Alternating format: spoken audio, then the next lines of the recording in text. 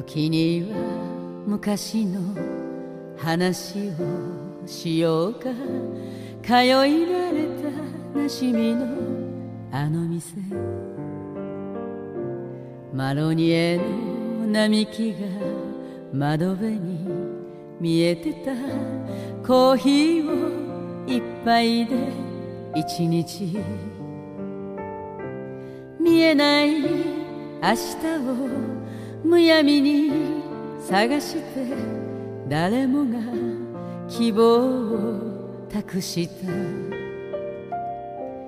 揺れていた時代の熱い風に吹かれて体中で時を感じた。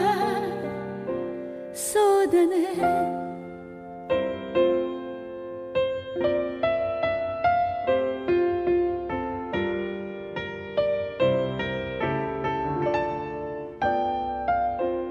道端で眠ったこともあったね。どこにも行けないみんなで。お金はなくてもなんとか生きてた貧しさが明日を運んだ。小さな下宿屋に幾人も押しかけ朝まで騒いで眠っ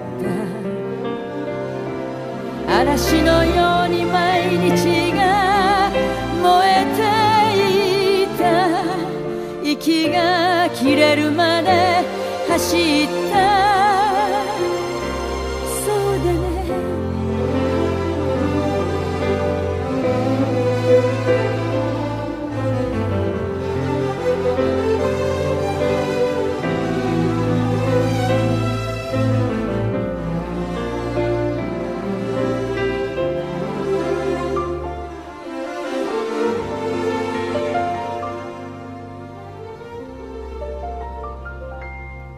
一枚残った写真をご覧よ。